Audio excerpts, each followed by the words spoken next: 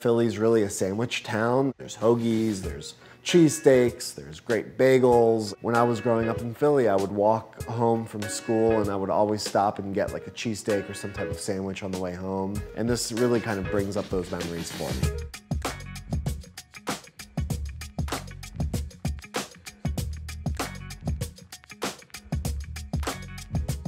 I wasn't quite sure what I wanted to do for a living. I wasn't getting good grades. I was actually about to get kicked out of school uh, for just behaving really poorly. I wasn't really moved by much, and so I took a home economics class because I got to hang out with knives and girls in high school, and I thought that that would be a great way to spend my day. I'm gonna make a pastrami melt with uh, a really great Russian dressing that we're gonna make from scratch, and we're gonna serve that on rye bread, which I think is the best complement to pastrami. We're using the shreds to really create that melt.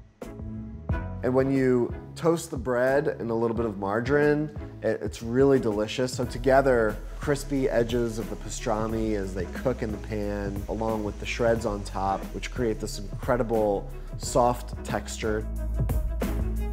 You can use mushrooms or sweet potatoes as a substitute for meat in this recipe and that works really, really well.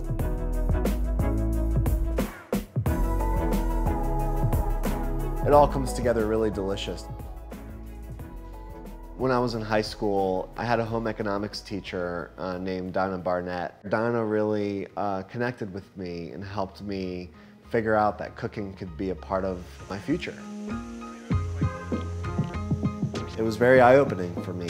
Finally, when I was able to kind of have a platform where I could help, I asked her if she wanted to start a foundation together, and she said yes.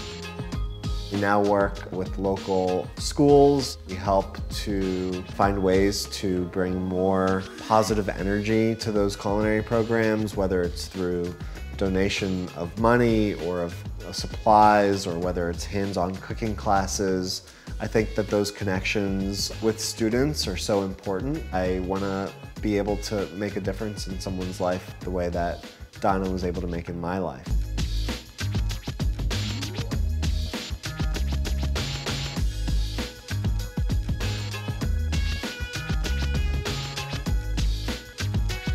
Now, I get to hang out with knives and my wife all the time.